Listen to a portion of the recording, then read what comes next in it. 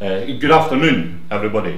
Uh, it's great to see so many people here. This is, this is a wonderful turnout uh, and uh, might, be, might be more to do with the good weather and the excellent cakes than the people who are up here speaking, but uh, we'll take some of the credit anyway. My name's Pete Bell, uh, or if you know me from my uh, online existence, Peter A. Bell, uh, which may sound a bit pretentious, but it's actually only to differentiate me from uh, a surprising number of other uh, Peter Bells who are out there. Uh, I spend the biggest part of my time uh, campaigning online for a yes vote. Uh, I have a sadly, sadly neglected blog, uh, but mostly I write below the line comments uh, on uh, newspaper websites and uh, other blogs, uh, as well as doing a bit of stuff on uh, social media, uh, Facebook, Twitter, Pinterest, and the. It's mostly about uh, rebutting the distortions and downright lies uh, of uh, Better Get Together and their friends in the media. I've been a, a supporter of independence all my life, literally all of my life. Uh, or as I prefer to put it, uh, an advocate of restoring Scotland's rightful constitutional status. Uh, I put it that way because uh, uh, for me this is first, last and always uh, a constitutional issue. I accept the inevitability uh, of all the talk about uh, economics and currency and all the rest of it, uh, and I understand the necessity for it, uh, but still, to me, uh, these are peripheral issues. Uh, the referendum is not really about uh, what currency we use. Or whether we'll be a few pounds richer or a few pounds poorer, or you know, how much clout we have in the world, any of that nonsense. Uh, it's about uh, how we think of ourselves, uh, our communities and our nation. It's about whether we it's about whether we see ourselves as a nation or whether we see ourselves as merely a region within the British state. Uh, I, I take no particular pride in being Scottish. Uh, pride is for personal achievements. Uh, all I had to do was uh, be born uh, in Fife to a mother who actually happened to be born in uh, this very city and a father uh, who, uh, somewhat inconveniently for my ar argument, contrived to get himself born in Australia. But you take my point, I'm Scottish by birth. There was no effort or per personal sacrifice involved. The so-called New Scots, the Asians, East Europeans and all the rest, uh, to my mind, they have more right uh, to uh, express pride in being Scottish uh, than I do because uh, they have made a, a conscious decision to be Scottish. An important point here, being Scottish is not about a common inheritance, it's about a shared commitment. So when I talk about a nation of Scotland, I'm talking about the people of Scotland. I'm going to talk about the people of Scotland, I mean those who have made a commitment to the nation and its people. And if that sounds like some kind of circular argument, uh, I make uh, no particular apology for that, because uh, I see no reason why a, a nation need be defined by reference to anything out with itself. We are a nation not because others say we are, we don't need anybody's permission to be a nation. We are a nation because we say we are. But what kind of nation are we? Uh, obviously, that depends on what kind of people we are. The anti-independence campaign likes to pretend that nationalists like myself, and uh, I, I don't have no problem at all, Pauline, in using the word nationalist. I'm quite happy to be a nationalist, and I will speak to you later about that word. uh, the anti-independence campaign likes to pretend that nationalists like myself uh, are claiming some sort of uh, Scottish superiority Uh, they obviously haven't met some of my friends. You know. they, li they, they, like to put about the, uh, the notion uh, that we're saying that people in Scotland have different and somehow better values, uh, attitudes uh, than people in the rest of the UK. It's all lies, of course. Uh, all we claim is that there is a distinctive political culture in Scotland. Not unique, not even necessarily better, but different from the rest of the UK. And that shouldn't be a controversial claim. Uh, voting patterns in Scotland alone uh, should make it evident that Scotland uh, has a distinctive political culture, uh, even if it wasn't already glaringly obvious from the fact that we're having this bloody referendum. uh, we need independence so that the policies which affect our lives can be informed by our own political culture and not the political culture of the British state. Is that too much to ask? That was a question. Is that too much to ask? Not used to saying no. nice to get a bit of audience feedback. What makes Scotland's political culture different? Ultimately, it must be the people. Uh, because it's people who, over time, uh, shape the political culture. But that doesn't mean, uh, it doesn't imply that individuals in, in Dundee or Dunfermline have attitudes that are markedly different uh, from those of individuals in Doncaster or Durham. We can all be offended by the injustice of the bedroom tax and the obscenity that is Trident.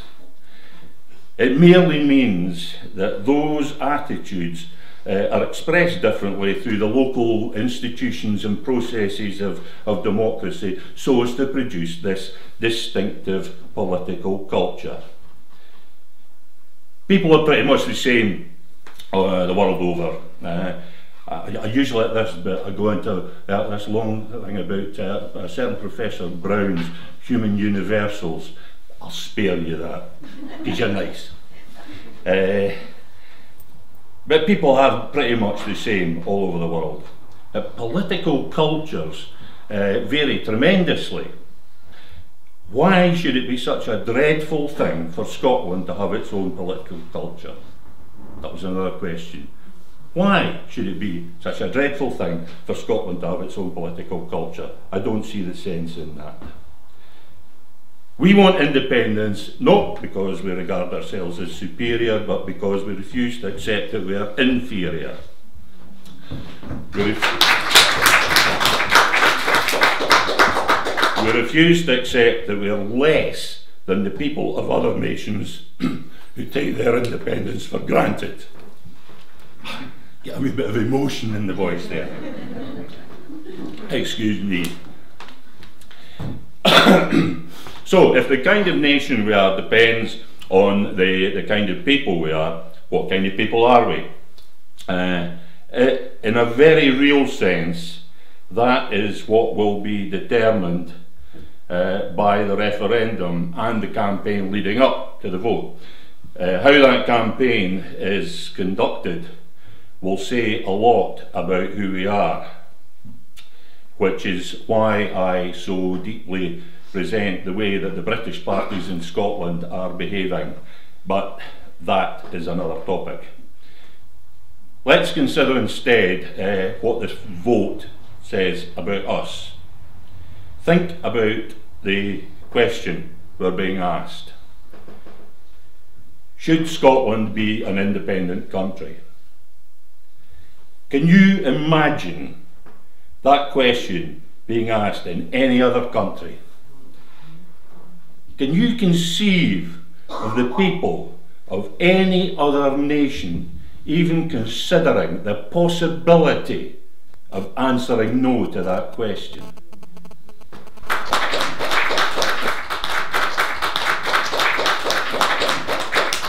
The fact that we are asking this question of ourselves tells us what kind of people we are, or kind of people we have been. People who have for uh, too long been meekly content to accept uh, subordinate status within a union that was contrived in a different age for purposes that were never relevant to us. A union that we, the people, had no part in creating or sanctioning. An anachronistic, dysfunctional, corrupt union which serves none of the people of these islands well.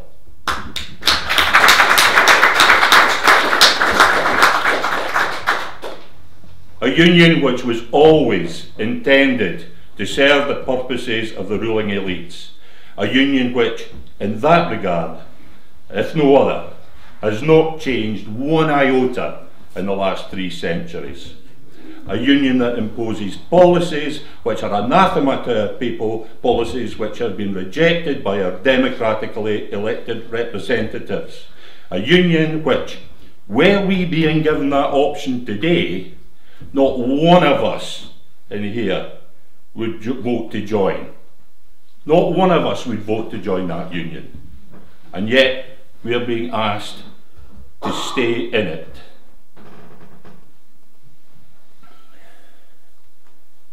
All of this is, and more, uh, is what we've accepted in the past. And our acceptance of all this has defined us in the eyes of our neighbours and the world and I, I, ourselves. Ladies and gentlemen, I put it to you that the fact that we are asking ourselves this question says nothing very flattering about who we have been in the past. The way in which we answer the question, question can change all that. It can change the way we see ourselves in the future. It can change the way others perceive us. It can change who we are. And by changing the kind of people we are and how we think of ourselves, it can release the forces which will change the nation. Or it can do the other thing. We can vote no and confirm that we are to be no more than that which we have been, that we will not be what we aspire to be, that we choose not to be all that we might be. I ask you again, ladies and gentlemen, can you imagine the people of any other nation making such a demeaning choice? No.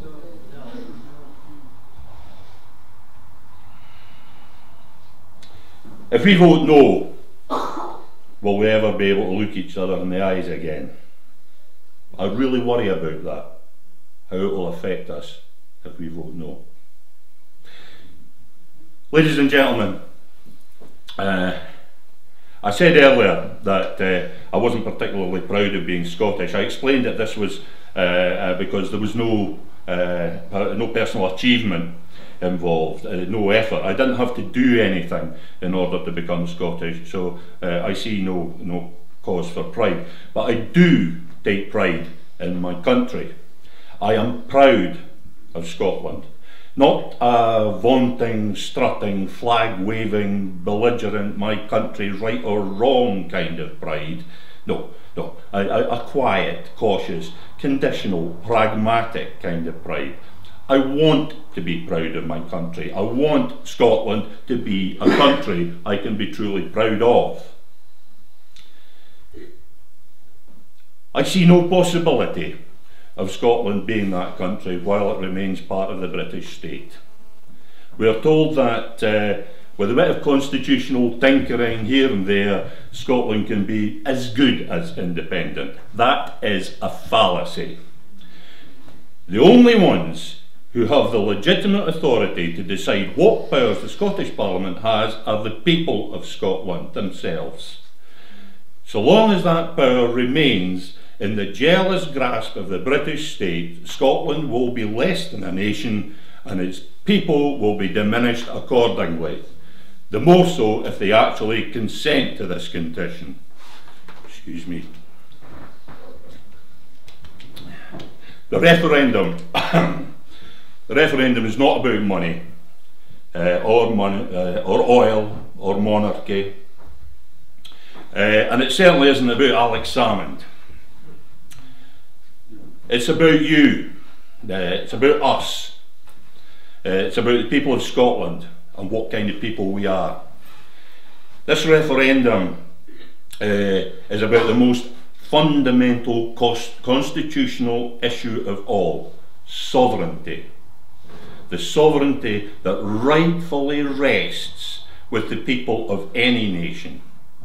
This referendum is about whether we are the kind of people who will carelessly allow that sovereignty to be usurped by the ruling elites of the British state, or whether we are the kind of people who will seize to ourselves the power to shape our nation and our destiny.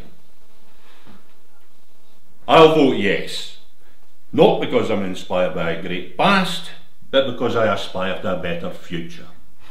I'll vote yes, not because I'm resentful about what has been done, but because I'm hopeful about what can be done. I'll vote yes, not for anything that is promised, but for everything that is possible. I'll vote yes, ladies and gentlemen, and for the sake of Scotland, for the sake of Scotland's people, for the sake of Scotland's future, and for the sake of your own modest pride, I urge you to do likewise. Vote yes.